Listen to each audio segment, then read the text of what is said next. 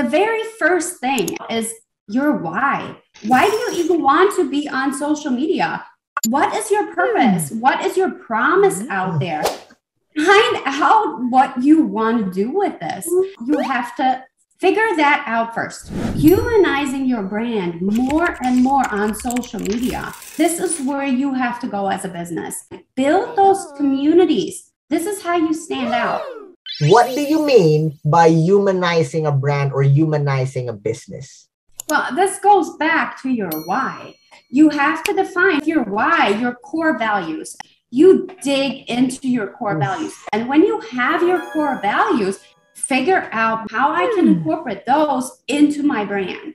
Before everything, you have to solidify that intent, your core. In that core is your why. Well, you definitely stand out with that already. You have to show up. And every single business and agencies telling you, I'm going to do everything for you, I tell them that's not going to work. They will auto schedule it for you, everything. You can never fully outsource your social media. It doesn't work. It There's an aspect that you need to contribute, right? Yes. It's you, it's your brand, it's your business. You need to show up.